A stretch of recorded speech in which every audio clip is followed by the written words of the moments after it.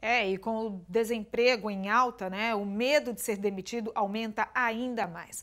Mas isso não pode ser um fator que paralisa o funcionário, viu? Muito pelo contrário, especialistas alertam que é hora de estar atento ao desempenho e também à qualidade dos relacionamentos no ambiente profissional. Como você reage ao ouvir uma dessas frases? Beatriz, eu preciso conversar com você. Você não está se enquadrando no nosso, na nossa equipe, eu vou ter que te demitir. Qual é a tua reação?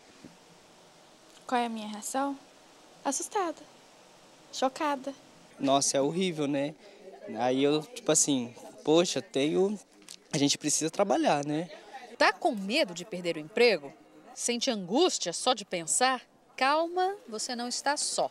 O medo da demissão é o que mais aflige os brasileiros, perdendo só para a violência. Você tem medo de uma notícia dessa? Eu tenho.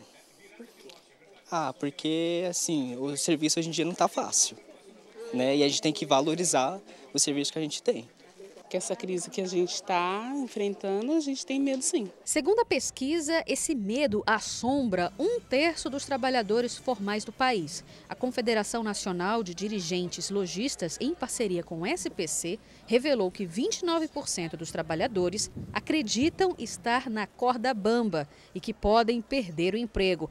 Mas o que afinal está por trás desse sentimento? A crise é um fator, sim.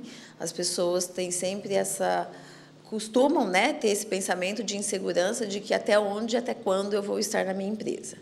Mas, além disso, existe também uma, uma questão de você olhar e dizer quais são as habilidades que eu preciso melhorar, como é que eu estou me dedicando a esta empresa, né?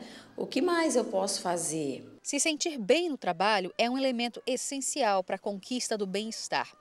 A Elaine sabe disso há três anos.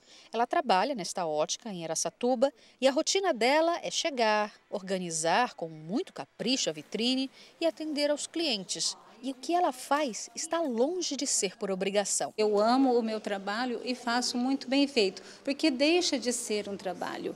Agora, como não ter o medo? Eu acho que a gente tem que fazer sempre o melhor.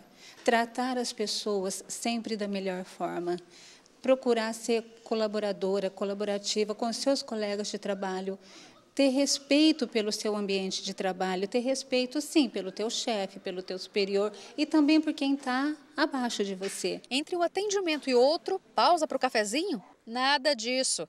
Por iniciativa própria, ela divulga os produtos da loja na rede social.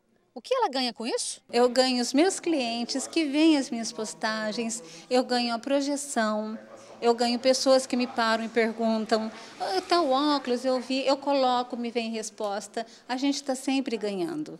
É que a gente tem que ver, é que as pessoas às vezes visam ganhar só o financeiro. Entendeu? Mas uma coisa está ligada à outra. De maneira geral, o medo é uma emoção de sobrevivência que todo mundo tem. A diferença está em como se lida com esses problemas. Aliás, uma boa dica para os líderes é elogiar os seus colaboradores de vez em quando. Quando eu recebo um elogio, eu entendo que eu estou fazendo o meu melhor e que estão me reconhecendo. E isso me dá uma segurança.